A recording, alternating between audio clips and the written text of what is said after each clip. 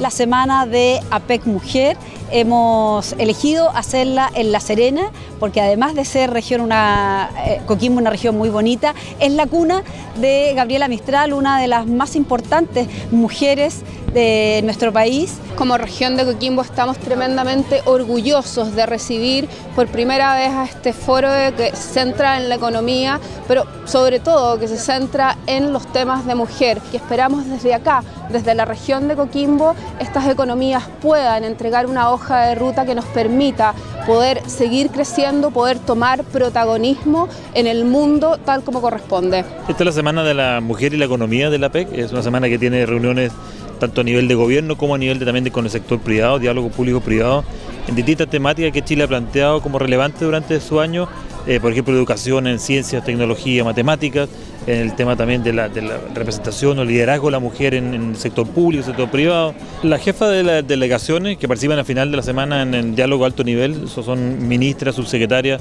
de temas género de la 21 Economía, que van a llegar a la región probablemente el miércoles y jueves para este diálogo eh, público-privado sobre materia de género y la economía. Para nosotros de verdad fue una sorpresa y es un orgullo de poder recibido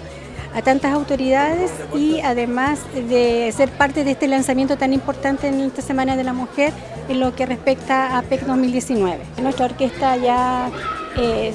lleva 10 años eh, como Orquesta Sinfónica Latinoamericana y también un orgullo de que he sido parte de esta presentación y de este lanzamiento.